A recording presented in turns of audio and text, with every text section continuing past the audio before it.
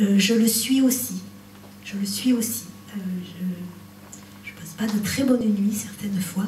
Et là, euh, la nouvelle couche que met le gouvernement, c'est à nouveau sur cette population-là, sur cette tranche de population encore les plus fragiles qui vont payer ça. Et là, pour l'instant, je sais que dans certains départements, les préfets ont fait en sorte que des emplois soient reconduits. Dans le 13, euh.